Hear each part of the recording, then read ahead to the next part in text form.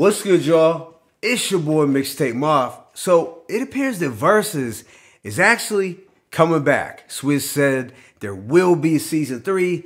It is confirmed. And over the last day on social media, there was talk of a potential battle between 50 Cent and Lil Wayne. Nothing official though. This obviously generated a debate on social media, uh, mainly after Hot 97's Ebro stated, what Jadakiss did to Dipset is what 50 will do to Wayne.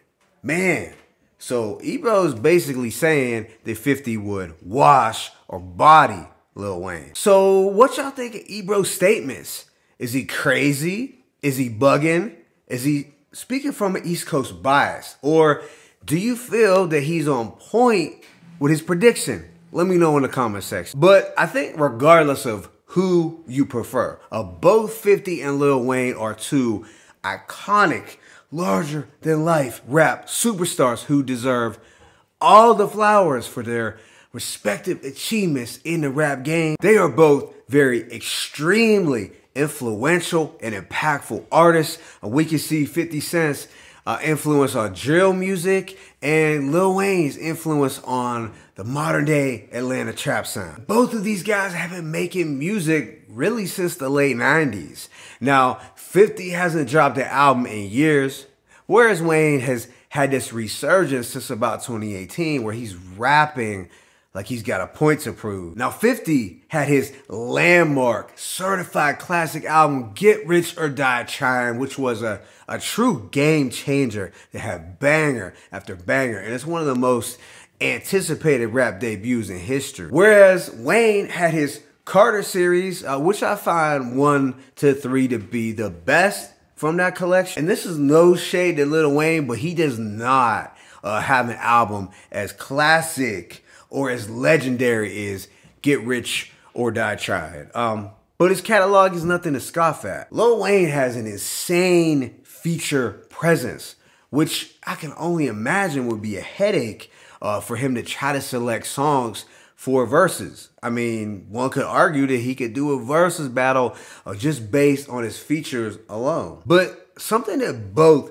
50 and Wayne share in common is their strong mixtape run.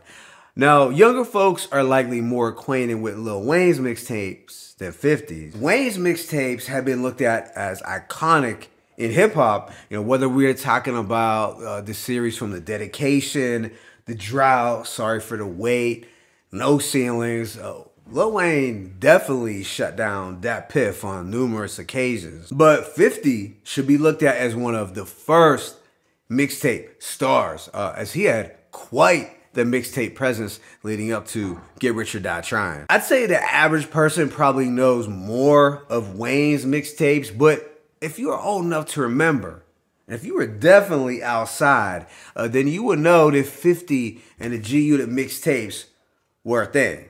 Actually, a big thing. So let's just say this matchup would occur. Probably won't, but let's just say it does. I think it would be a close matchup and not a wash. And I say this because there are a lot of factors that go into success in a Verzuz battle. I think we all learned that from watching Dipset and the LOX. You have to look at the artist's energy.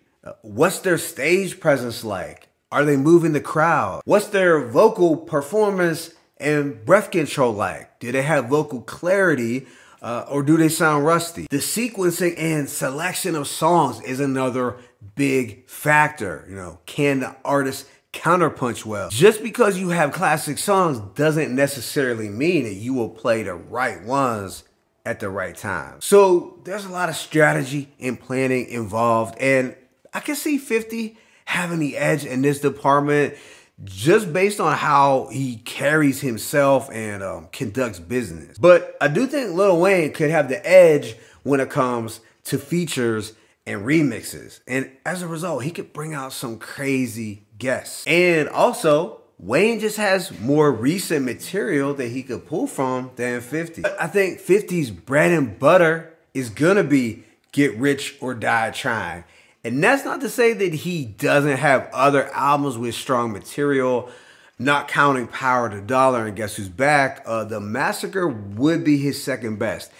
After that, I gotta be honest, I haven't loved 50 albums. However, in the Snoop and DMX battle, we saw how beneficial it was uh, for Snoop to perform the songs from his classic album.